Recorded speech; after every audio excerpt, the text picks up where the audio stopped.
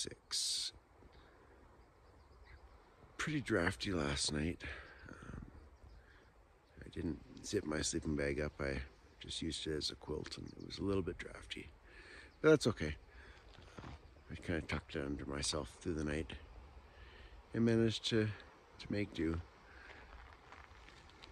Everything is crunchy and cold this morning. I would say it's probably around freezing level out here this morning. It was about 10 degrees in our tent last night, so it definitely uh, keeps it a little bit more sheltered than than out here. But yeah, everything's crunchy out here. So we're gonna get packing up here pretty soon and eating some breakfast. It looks like we're going about about 12 to 15 miles today. We got a few up and downs.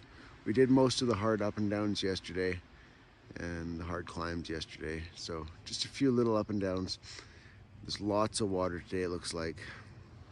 Um, we'll get the better part of the way to uh, Cabazon today. After that, it looks like we're going down, down, down off this mountain. Pretty excited about that. Then we should be able to get bigger miles in. These mountain miles are tough. Well, it's 6.44 and I'm all packed up, just waiting for Jen to get out of the tent so we can put that away and get Mose in. Really happy to announce this morning that we are above cloud nine. We didn't get wet at all last night because the clouds are below us. And we're heading out. So we started out a little bit in the snow. It's nice and frozen though, so we don't need our micro spikes like we did yesterday. And now we're just walking down the side of the mountain. There's still patches of snow here and there. And there's still some crazy characters too. The thaw is on. Look at that. It's actually flowing. Whoa, that's a little icy but it is flowing. That's pretty nice. We are going down. The trail is so nice. I am a happy man today. We could actually get miles in if we actually could do this all day.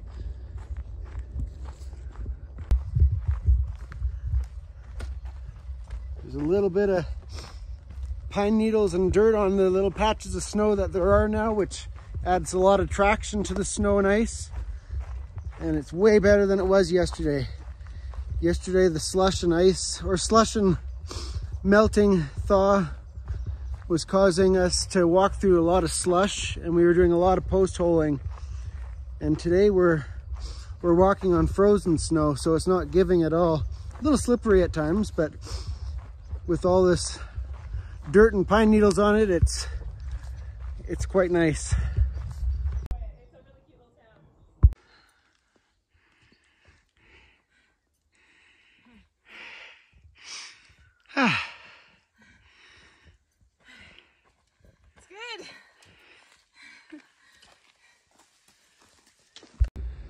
Well, after an hour and a half of hiking, we went down to Saddle Junction, which is the trail into Idyllwild, where we were for four days, so we won't go back there.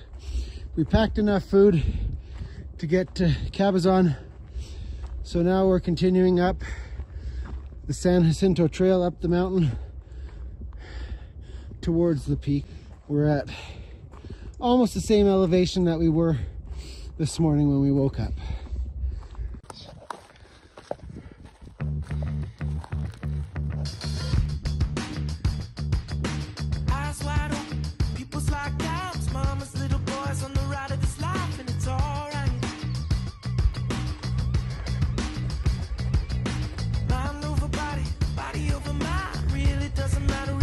Whew, we made it to the top of this peak anyways.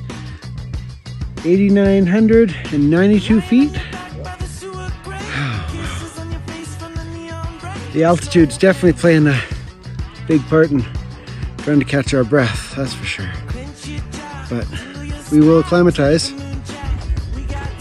Back to walking through the snow a bit. The sun has been hitting us for a little while now. It's only quarter after 10, but it's already starting to thaw out drastically. And it's starting to get quite slick. Still not wearing the micro spikes because, let's face it, there's not much of a real hill to slide down. So if I fell, I'd only go a couple feet. Otherwise, we're not to wear them.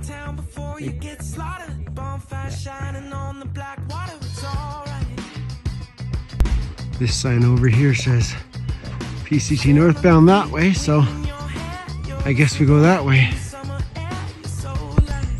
You are responsible for knowing this. You must have a wilderness permit to be in the wilderness. What?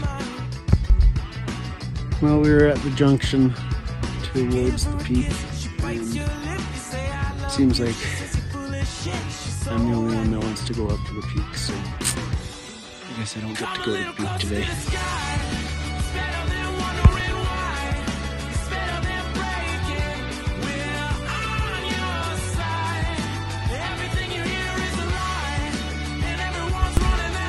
Here's our water source for for now. Looks like they're quite frequent. Looks like mountain water or mountain runoff from all the snow melt. Probably don't even need to filter it, but we'll just run it through anyways, just to be safe. We are going down the other side of the mountain. Have accepted that we will not go up and over that peak today or up to the peak today. I had a hard time accepting that for a while because I really wanted to do it, but the danger factor outweighs the the pros, I suppose. Um, as much as I really wanted to do it, you know, Jen won't go up there with me, and that's a big factor. And my mom would probably appreciate that I don't go up there either by myself, so we'll have to come back and do that another time. Well, we managed to stop for lunch for a little bit. Had a salmon wrap and then a fig Newton and peanut butter wrap for dessert. And unfortunately, all that downhill we just went down. It looks like we're going back up.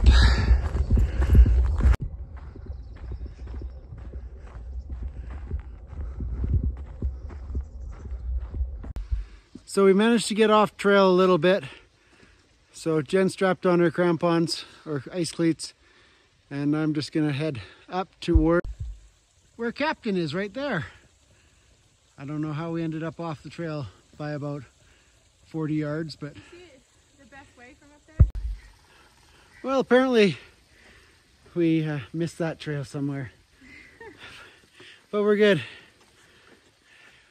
Some of those snow bridges collapsed a little bit underneath us, but we're good. There's some lovely water right over here. Ooh, look at that. You said there's more. There are some stairs coming up. Very bizarre to see on a mountain trail. this is really neat.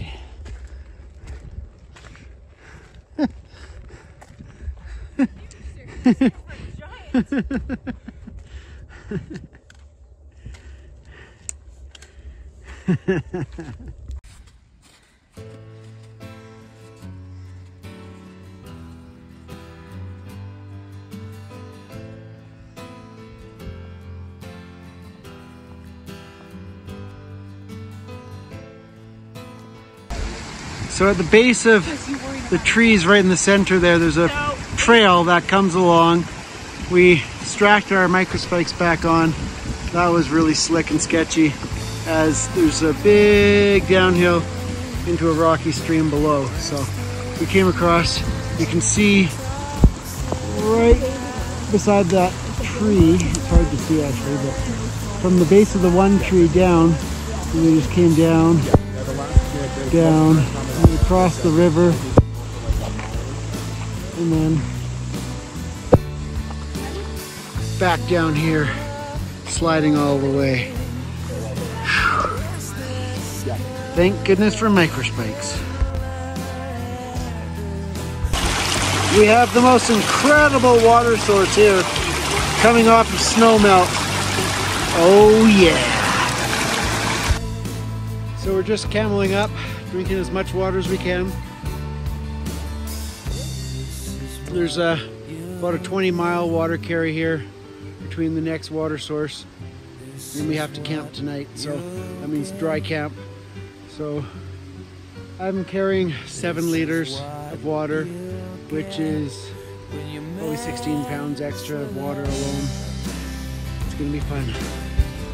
I got a one liter in that pocket, two two liters in the front pocket here, another one liter there, plus this one liter that I'm drinking right now, and we'll refill before we go. Here we go.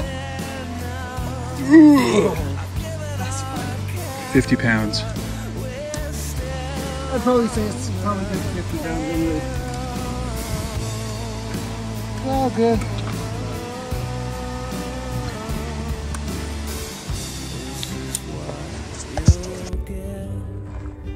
We finally get to go downhill and there seems to be no more snow. Oh, I spoke too soon, but not really any snow to speak of. Just a few little melted patches on the side here. The sun is quite nice now.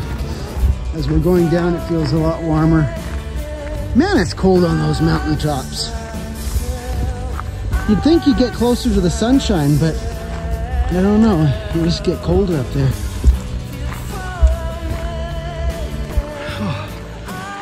So it's just all that down that we just went down. Now we're going back up another 300 feet. Pointless up and downs, I tell ya. So we're finally pretty much out of most of the snow, it seems. We're going down the mountain finally, and there's supposed to be a good storm coming in. That was supposed to be here on Tuesday or Wednesday. That seems to be coming in tomorrow, so we're gonna try to get down this mountain as fast as we can.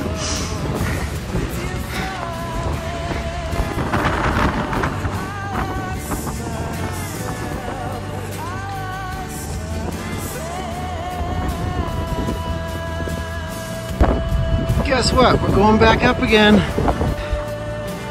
Just made it to the top of this peak.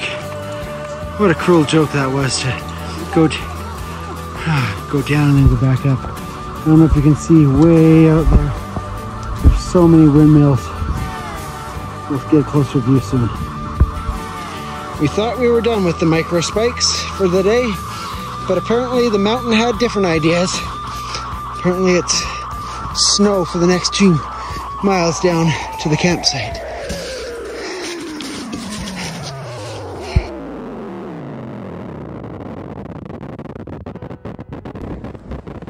Park, I see camp.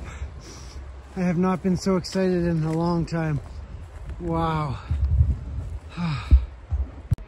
Holy crap, that was an endurance of a day. We started at 8 o'clock this morning and it is now almost 7 o'clock. We've just been going, going, going to try to get here before dark. That mountain is a beast. I uh, I rate it 0 out of 10 stars in the snow. Highly recommend waiting until the snow melts to do it. Man, I was reliant upon the San Jacinto report on YouTube and what I saw on YouTube showed that the snow was almost gone. Far from the truth. There's so much snow and we walked in our micro spikes for the past five miles to get here. Holy crap, that was scary. I'm gonna go set up the tent because we are so cold and then we can get into the tent and warm up. Can't see much from here, but that is a beautiful skyline. Wow, that's pretty out there. Wish I could get a closer look, but I can't. It's been a hell of a day. We're gonna climb into the tent and warm up and crawl into the sleeping bags because it's so cold right now. Good night, guys.